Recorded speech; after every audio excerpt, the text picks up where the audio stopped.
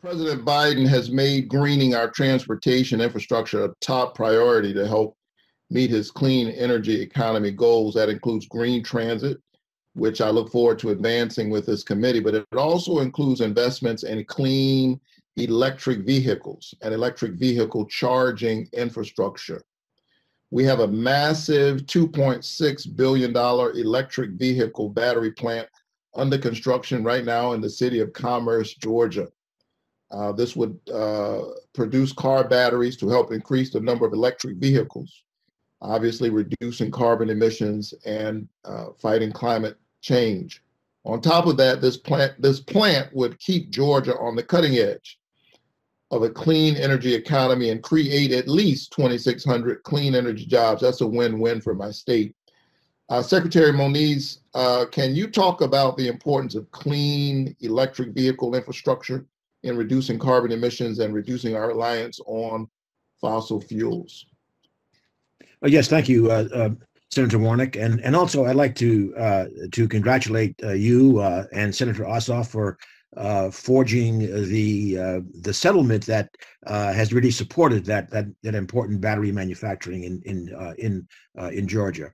Uh, in terms of the EV infrastructure, well, I think the first thing to say is that you know we have to listen to GM and Ford. We have to look at Tesla's evaluation to know that electrification in transportation is really coming. We have to look at the facts that uh, probably already cost of ownership of an EV and an internal combustion engine uh, are just about equal, uh, ca- and capital costs are coming down.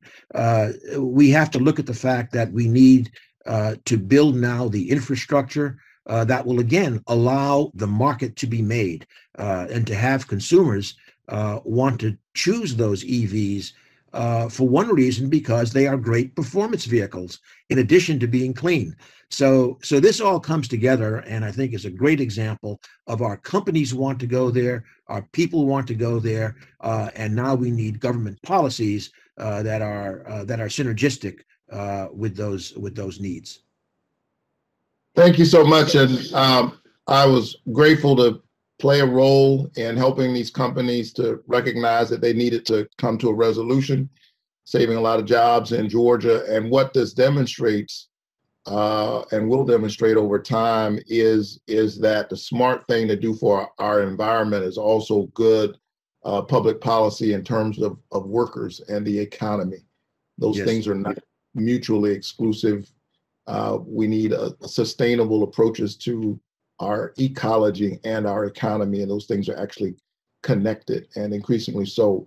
When our schools uh, fully reopen and kids return to in person instruction, nearly 25 million American children will be exposed to harmful air pollution each day as they travel to school on buses that by and large run on diesel fuel. Children in Georgia and across America should be able to get to and from school each day without breathing polluted air. In fact, um, innovators. I'm, I'm proud that one of the innovators helping us to address this problem is Georgia's own Bluebird Corporation down in Fort Valley, Georgia. They're already leading the way uh, to replace older diesel buses, uh, the kinds that, that you and I uh, went to school on, certainly I did, with cleaner zero emission electric buses uh, because they see greening our school bus fleet as an urgent environmental concern and an economic priority uh, Ms. Lippman, can you speak to the importance of greening our yellow school buses? For sure. Um, uh, it, as as as I think we touched on a couple times in the hearing, this the the opportunity to transition our our medium and heavy duty fleets, especially those uh, uh, where where government can play a role in in in speeding those that deployment.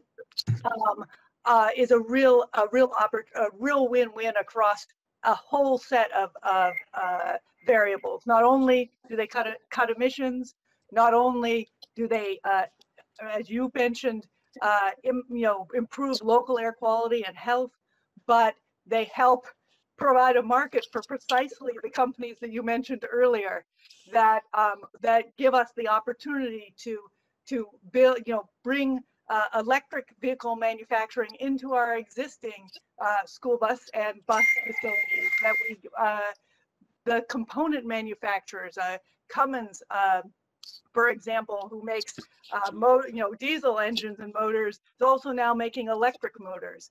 Um, and the mo- and the and the, these uh, investments, which can be in- incredibly valuable to to communities and schools, are also part of transforming our uh, our manufacturing jobs. Well, thank, thank you so much. And it's the reason why I'm so proud to uh, partner with Senator, uh, Senator Padilla to introduce the uh, Clean Commute for Kids Act this week. Uh, it'll help our students stay safe. It'll create good paying jobs, modernize our country's vital uh, transportation infrastructure. This bill would provide $25 billion over the next 10 years to help replace uh, these old diesel buses with zero emission school buses. And I would submit that it needs to be included in any infrastructure bill uh, that we would do in the Congress. Thank you so much.